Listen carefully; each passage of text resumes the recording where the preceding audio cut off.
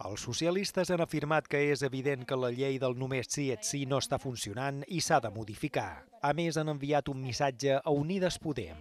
Estamos cansadas de sus peroratas, señorías de Unidas Podemos.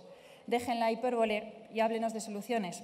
Es lo maduro y lo serio. Unides Podem ha respost que votar a favor de la proposta socialista és afirmar que les dones són de segona i han fet una crida a la mobilització de les feministes. Mañana es 8M. Mañana tenemos que salir todas a inundar las plazas y las calles de nuestros territorios para decirles alto y claro a los fascistas que somos muchas más. Entre els socis d'investidura, els republicans han mostrat molt crítics amb la situació al si del govern de coalició. Me parece decepcionante, me parece muy poco profesional, me parece que las mujeres no se lo merecen.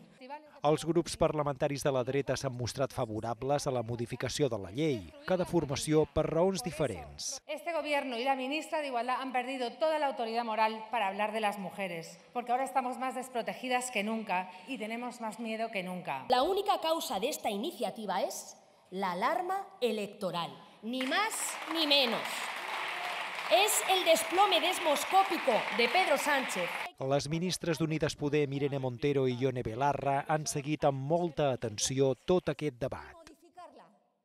Eso es lo que tenemos que hacer y hacerlo con la mayor